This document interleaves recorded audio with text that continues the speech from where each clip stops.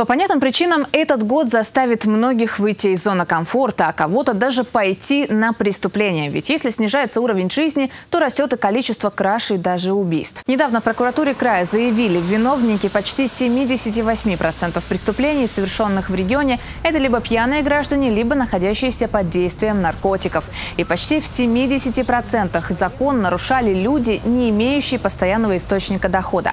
Многие начали сравнивать наше будущее с 90-ми. Кто-то действительно верит, что жизнь по понятиям может вернуться. Если работа была, то зарплату платили через полгода, к примеру. А есть-то надо сегодня, да? Поэтому там картина была немножко другая. Поэтому и процветала кража.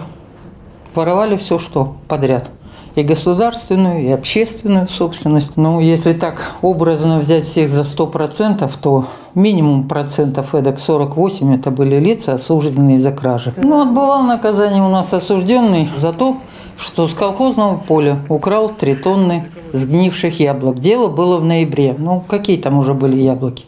Он их привез домой, кормил скотину. За это он получил всего-навсего 3 года 6 месяцев – лишения свободы. Грабежи, вымогательства и тяжкие телесные повреждения – таков характер большинства преступлений, совершенных на излете 20 века. Но сотрудники в погонах спешат успокоить. Маловероятно, что лихие 90-е вернутся. Время ушло далеко вперед. Это резкая противоположность, тут и, и сравнивать-то не с чем абсолютно. Да и согласитесь, например, сегодня в условиях, когда вы находитесь под прицелами камер видеонаблюдения, куда меньше соблазна угнать машину или разбить витрину продуктового магазина. А вот что нас сейчас объединяет с 90-ми, так это стресс и чувство неопределенности. Вот эта ситуация неопределенности, она будет достаточно длительной, долго длиться.